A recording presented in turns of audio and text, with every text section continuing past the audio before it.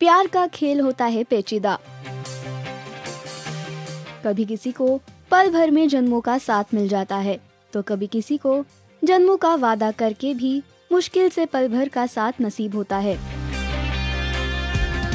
ऐसे ही कुछ उलझे हुए नाकाम रिश्तों की कहानी लेकर आया है टेली मसाला हमारी अधूरी कहानी। शेफाली जरीवाला और हरमीत सिंह की कहानी कोई फेरी टेल से कम नहीं है। फ़र्क सिर्फ़ इतना है कि इस कहानी की हैप्पी एंडिंग नहीं हो सकी।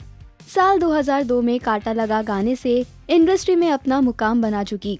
काटा लगा गाने के बाद साल 2004 में शेफाली ने गेस्ट अपीरियंस दी सलमान खान, अक्षय कुमार स्टारर मुझसे शादी करोगी इस फ़िल्म में। शेफाली की मीत ब्रदर्स के हरमीत के साथ मुलाकात हुई थ्रू अ कॉमन फ्रेंड मुलाकातें बढ़ती गई, दोस्ती गहरी होती गई और दोनों ने शादी करने का फैसला कर लिया।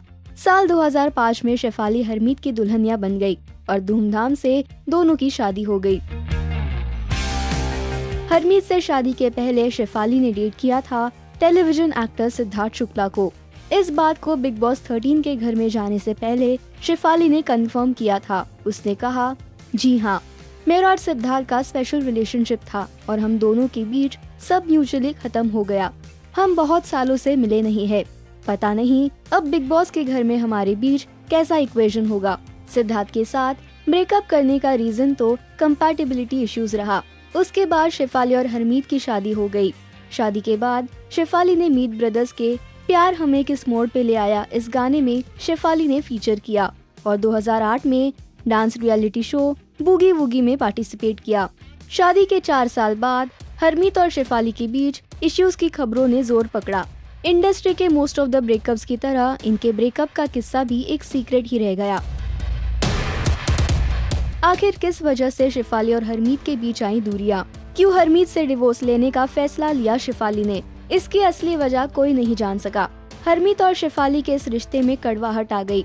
कहा यह जा रहा था कि हरमीत शिफाली के साथ अब्यूजिव थे।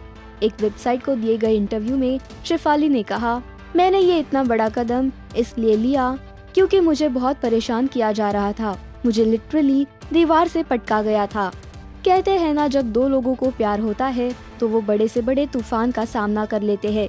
पर शायद ऐसा शेफाली और हरमीत के साथ नहीं हुआ। उनके रिश्ते में दूरियाँ बढ़ती गई और शेफाली ने हरमीत से तलाक लेने का डिसीज़न ले लिया।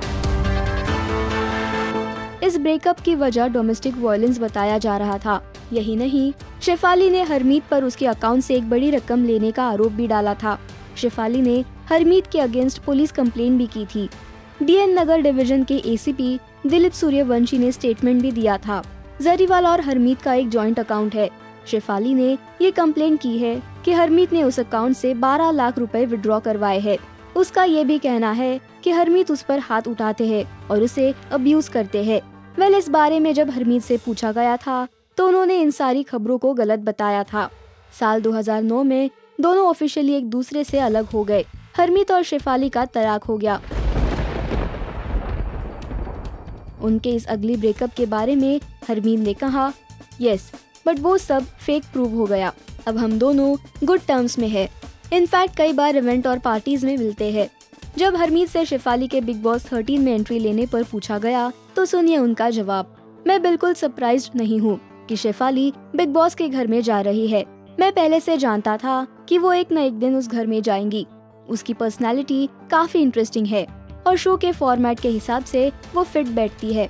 जब उनसे ये पूछा गया कि क्या आपको डर नहीं लगता कि शेफाली आपके रिश्ते के बारे में कोई सीक्रेट्स रिवील करेगी तो he said not at all let her talk भाई, जब हमने कुछ गलत किया ही नहीं तो टेंशन या डरने की कोई बात ही नहीं। She can speak whatever she wants to We have all the legal papers in place and moreover, everything is sorted between us now. Harmeet से डिवोर्स के बाद शिफाली ने साल 2014 में शादी कर ली उनके long time boyfriend Parag Tyagi से और अब ये दोनों अपनी पर्सनल लाइफ में बहुत खुश है so all is well that ends well